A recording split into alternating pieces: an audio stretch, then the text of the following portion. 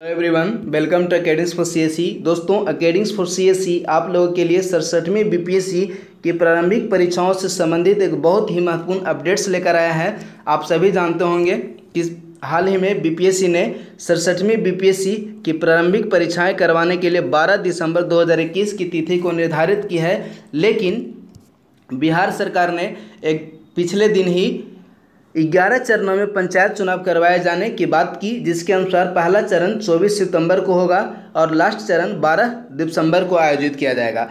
तो 12 दिसंबर को पंचायत चुनाव का लास्ट चरण होगा और 12 दिसंबर को ही सड़सठवीं बीपीएससी की प्रारंभिक परीक्षाएँ आयोजित करवाई जाएगी।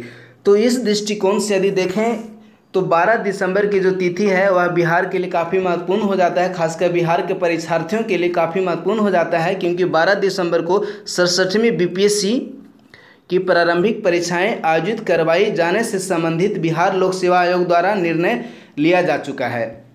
अब हम लोग देखते हैं कि क्या पंचायत चुनाव करवाए जाने के कारण यह जो 12 दिसंबर की तिथि है, वह स्थगित किया जा सकता है या नहीं। तो यदि बिहार लोक सेवा आयोग द्वारा जारी किए जाने वाले संभावित परीक्षाओं की विवरणी को देखें तो देखिए, बिहार लोक सेवा आयोग ने लिखा है छठा नंबर कॉलम पे कि सड़सठवीं बीपीएससी संयुक्त प्रारंभिक प्रतियोगिता परीक्षा 12 दिसंबर 2021 ईस्वी को आयोजित की जाएगी। हालाँकि, इसके अंतर्गत जो नोट में एक महत्वपूर्ण सेंटेंस लिखा हुआ है, वह है देखिए, मैं कलम चेंज करके बता दे रहा हूँ। वह लिखा हुआ है कि अपरिहार्य कारणों से उपयुक्त तिथियों में परिवर्तन हो सकता है। अब हम लोग यह देखते हैं कि क्या पंचायत चुनाव करवाए जाने के कारण 12 दिसंबर की तिथि में परिवर्तन किया जा सकता है या नहीं? तो फ्रेंड्स, पंचायत चुनाव करवाए जाने के कारण अनेक परीक्षार्थी भी होंगे जो पंचायत चुनाव में मतदान करेंगे। तो ऐसी स्थिति में बिहार लोक सेवा आयोग द्वारा 12 दिसंबर को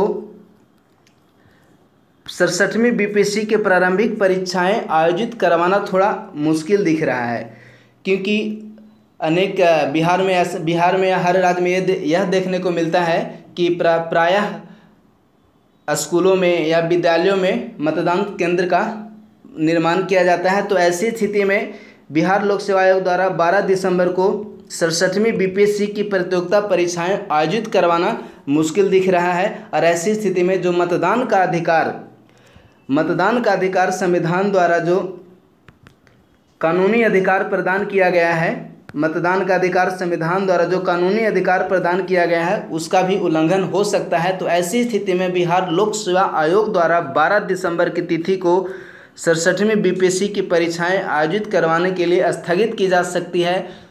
हो सकता है कि कुछ दिन में बिहार लोक सेवा आयोग इससे संबंधित एक नोटिफिकेशन जारी कर दे। धन्यवाद।